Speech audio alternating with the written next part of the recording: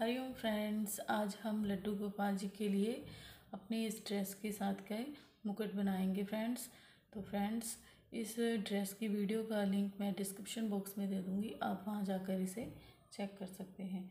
और फ्रेंड्स आज चलिए इसका मुकुट बनाना शुरू करते हैं. मुकुट शुरू करने से पहले फ्रेंड्स मैं आपसे रिक्वेस्ट करती हूँ कि प्लीज़ आप हमारे हरिओम नीटिंग चैनल को लाइक करें शेयर करें एंड सब्सक्राइब करें. तो चलिए फ्रेंड्स अपनी हम वीडियो शुरू करते हैं। तो देखिए फ्रेंड्स, यहाँ पर मैंने अपनी ड्रेस के साथ का ही क्लोथ ले रखा है। उस के मैंने देखिए दो पीस लिए रखे हैं। एक की हम कैप बनाएँगे और एक की कलगी बनाएँगे। तो फ्रेंड्स कैप बनाने के लिए हमने कार्डबोर्ड का यूज़ किया है। तो देखिए फ्रेंड्स, ये कार्डबोर्ड मैंने बच्चों की बुक्स में से ले रखा है, जो उसके ऊपर वाला कवर होता है, नोटबुक का। उसमें से। तो फ्रेंड्स, हमें इतनी इसकी स्टिप कट कर लेनी है। ये लड्डू गोपाल जी का, देखिए, इस तरह से हम इसे रख के देखना है। और ये देखिए, ताकि ये हमारे गोपाल जी का सर इसमें बिल्कुल फिट आ जाए। तो इतना हमें इसको रख लेना है। तो इस तरह से मैं आपको दिखाती हूँ कि ये मैंने पाँच नंबर के गोपाल जी के लिए कितनी ली हुई है। देखिए, साढ़े आठ इंच ले रखी है। और इतना ही हमें कपड़ा कट करना है, एक्स्ट्रा कट करना है। उस कपड़े को हमने इस तरह से फोल्ड करना है, इस तरह से। और देखिए, या तो आप सिलाई लगा लें और या इसे पेस्ट कर लें, जो आपकी इच्छा हो, वही करना। देखिए फ्रेंड्स, मैं इसमें सिलाई लगाऊँगी। इस तरह से इसको सिलाई लगाने के बाद इस तरह से हम इसको सीधा कर लेंगे।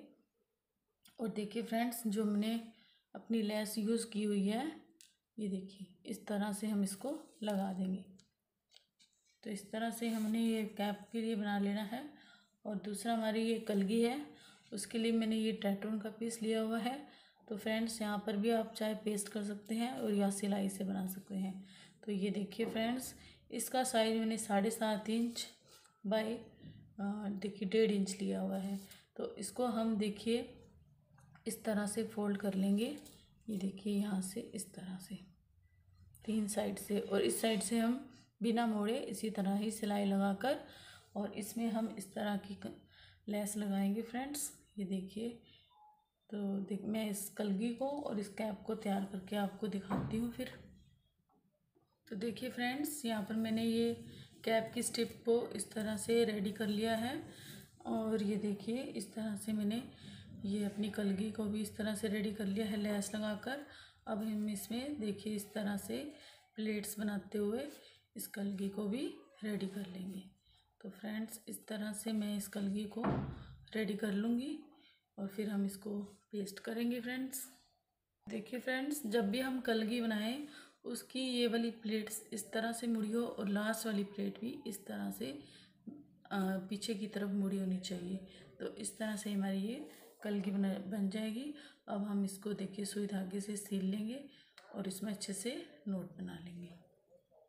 तो देखिए फ्रेंड्स अब इस स्टेप को हम इस तरह से पकड़ना है और इसको इस तरह से ये देखिए, ऐसे रखना है। और अब हम इस जगह पर इसको पेस्ट कर लेंगे फ्रेंड्स यहाँ पर हमने ग्लू गन लगानी है। ये देखिए इस तरह से। ये देखिए इस तरह से हम ग्लू गन लगाएँगे और इसे पेस्ट कर लेंगे। और फ्रेंड्स जो ये हमने कलगी बनाई है, ये देखिए, इसको हम इस तरह से पेस्ट करेंगे। कलगी पेस्ट करने के बाद फ्रेंड्स, अब हम यहाँ पर इस तरह का ये फ्लावर पेस्ट करेंगे। तो फ्रेंड्स, फ्लावर आप कोई भी अपनी पसंद का ले सकते हैं। मैंने यहाँ पे ये गोटा फ्लावर लगा रही हूँ।